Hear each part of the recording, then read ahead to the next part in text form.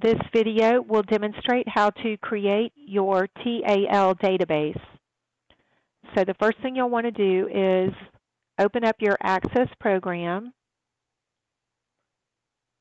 then select blank desktop database, and then you will be prompted to give your database a name. Use your last name underscore TAL. Then if you want to change the location, you would click here. Otherwise, it will be saved in the location that's listed right below it. Then select Create. Now you will be looking at a blank table named Table 1 with one field named ID. And we want to modify this information, so you want to select where it says View and change it to Design View. Then it will prompt you to give the table a name. So our first table is going to be rep. Now we are not going to use ID as the primary key. So you can see this is already designated as a primary key field and this is a default. We want the rep num field to be the primary key field for the rep table. And then we want to select the data type. So select short text and we want to change the field size down in the properties section to 2.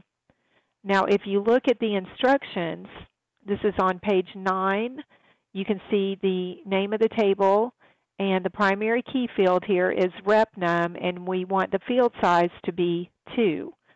So this is where you will get the information for the structure of your tables. So page 9 of your Create Database instructions. So go back into the database and you would also create the remaining eight fields and you would see them here. And if you switch views at this point back into, we'll say yes, back into the data sheet view, after you have all of your fields listed, they would be listed here across the top, each column, and you would then type your data values in. So I'm going to show you also one more piece of information, and that is how to create a multi-part primary key field. So we're going to create a new table. So select Create, Table. Then we want to switch views again. Select Design View. And this table will be our order line table. So this is what we saw before, where ID is the default field name selected as the primary key. So if you look at the instructions and go to page 10, you will see that for the order line table, the primary key fields will be order num and item num. So we're going to change the ID to order num.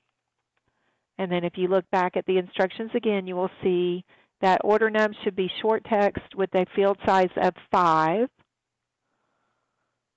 So short text.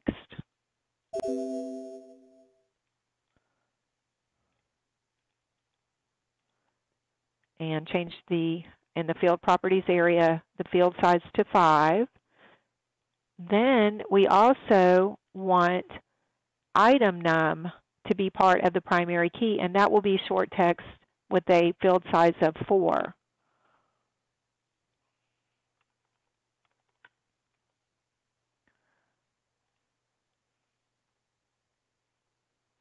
Okay, so now we want to highlight both of these rows in order to select both of these to be the primary key field. So if you select right here to the left in the gray area, you can highlight the first one, then hold your CTRL, your control key, and highlight the second one, and then select primary key. And notice that both of these now have the key listed next to them, the key icon. This means that both of these will be the primary key field.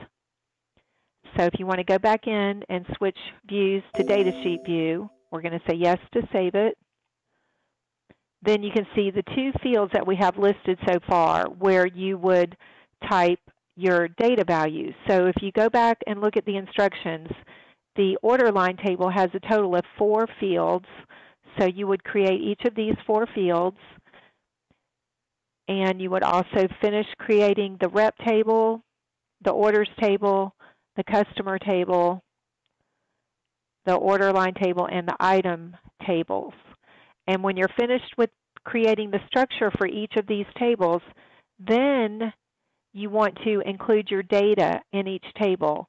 The information for the data is in your textbook on page 7. So make sure that you, before you submit your work, your Access database for this assignment, make sure that you have the data values typed in here. Then we can save this and exit. This concludes the presentation on how to create your TAL Access database.